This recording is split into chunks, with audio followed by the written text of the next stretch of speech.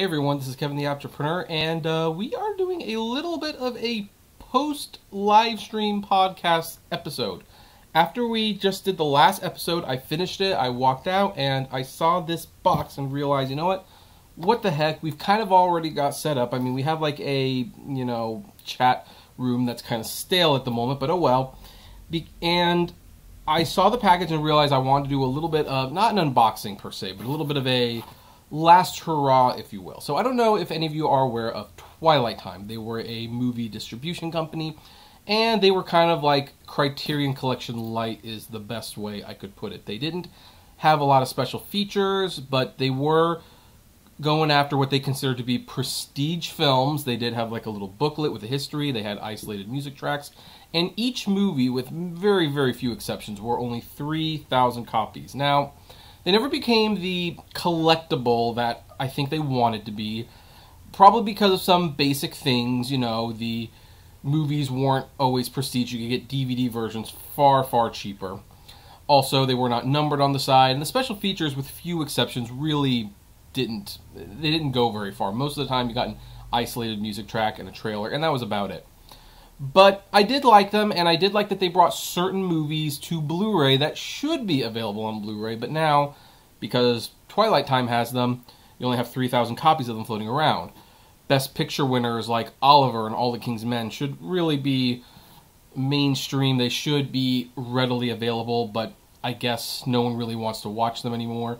So Twilight Time picked them up and put them on Blu-ray, and that's that. So anyway, I they decided they were going to go under. Like they were going to cease operations. They couldn't do it anymore. And in the final days, they fire sailed their discs. You know, get ten or twelve movies for hundred dollars. These usually retail for thirty to forty dollars each. And so I went and whatever was left, I grabbed you know some titles. And so this is my final Twilight Time haul. Not that I had two made to begin with. And the first one is Stanley and Iris. Uh, this is from director Martin Ritt, and it has uh, Jane Fonda and Robert De Niro. Uh, this only ha- has an audio commentary, which is unique, and it's just it's not a movie you hear about very much anymore. But you know, it it is a fairly good movie, so you know, I was happy to have that. We also have X, Y, and Z with Elizabeth Taylor, Michael Caine, Suzanne York, and directed by Brian G. Hutton. Now, I don't really know exactly what this is about, but you know, it's I've heard of it. I've I've been around the block a few times, so it'll be nice to finally see it. Um, Roger Ebert calls it a loud, boozy celebration of the fact that no matter what Elizabeth Taylor says or does, she's a movie star. It unzips along at a nice, vulgar clip. So, and Pauline Kael, the other famous film critic, said this one has a script that enabled Elizabeth Taylor to come out. The aging beauty has discovered in herself a gutsy, unrestrained spirit that knocks two very fine performers right off the screen. And for the first time I can recall, she appears to be having a roaring good time on camera. Only has an isolated music, musical score, but you know.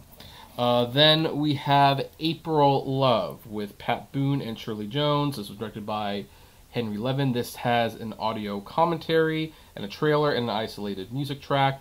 Uh, not much else though. So, April Love, that's one of the movies I got. Oh, uh, this one I've definitely been looking forward to seeing. Um, Bobby, uh, oh, what's it name? Bobby Deerfest? Deerfield, that's what it's called. Bobby Deerfield. Uh, so this has Dustin Hoffman. It has the, the, the trailer, the commentary, the score. You might notice um, a trend here. Also on the back of every box it says, let me get it there, like right like right here that it's limited to 3,000 units. But Bobby Deerfield, that's another one that I got. Uh, this one was, I know, Oscar nominated for Best Actress. It was on Netflix for a while, and I never got around to watching it, but it's called The Happy Ending. And this has Jean Simmons and John uh, Forsythe and Shirley Jones. It was directed by Richard Brooks, who directed um, in Cold Blood, I believe. This just has the score and the trailer, but you know. Uh, this one I'm looking forward to Bananas, one of Woody Allen's early films, and of course, obviously, he uh, starred, wrote, and directed it. Um, I think he, yeah, he wrote it with Mickey Rose. So, uh, only has a music track and a uh, trailer. That's pretty common. Woody Allen movies typically do not have special features anyway, so that was not a mark against the Twilight. Speaking of Woody Allen, I also have Husbands and Wives. This is one of his best films. This was also the movie he was making, I believe, when he was divorcing Mia Farrow. Uh, music score and trailer. That's all it is. So go now.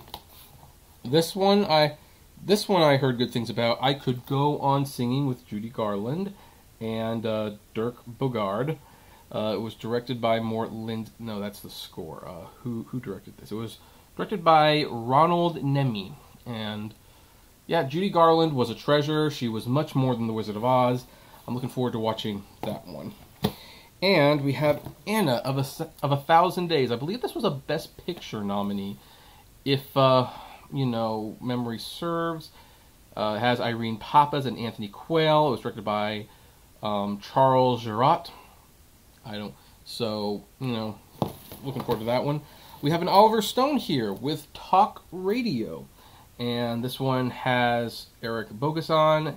So you know, I don't know if there's anyone really famous, but yeah, Oliver Stone usually makes good movies. I've actually had this on DVD for years and never watched it. Now I will probably watch it on DVD. And then the final one that I picked up, and uh, I don't know much about this one, but it looked interesting.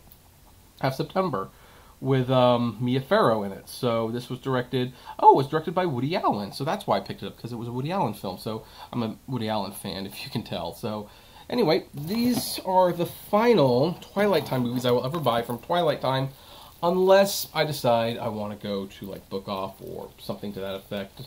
You can see they're really not nice. I like the casing. It's a it's a shame that Twilight Time never quite was able to pull it off. I'm kind of thinking that the 3,000 unit thing was kind of a blessing and a curse.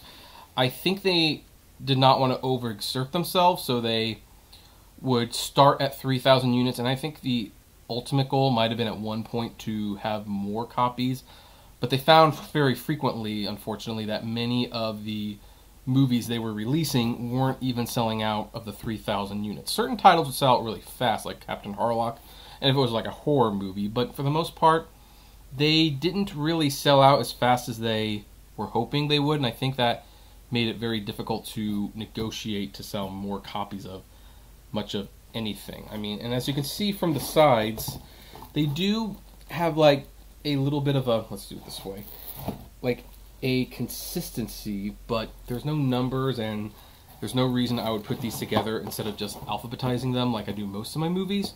So anyway, that's that's gonna be that's my final Twilight Time sale haul. There was one movie I did want that sold out before I could get to it, which was Born Free. But apparently, but I've looked on eBay, and while it's not exactly cheap, it's you pay a lot less than what you would norm pay sticker price. But on the site, it was like seven dollars, and I'm kind of I'm kind of regretting not getting that when I had the chance. So you know, that's one of the things about disc buying. When it's gone, it's gone. But hey, you know, at least there's the third hand market. So anyway, that's my final haul. I'd like to know what was your final haul if you in fact did a final haul for Twilight Time movies. Um, I would love to know what movies you got, which ones you missed out on that you are regretting missing out on. Comment below, like, favorite, share, subscribe, and as always, flame responsibly. Have a good one.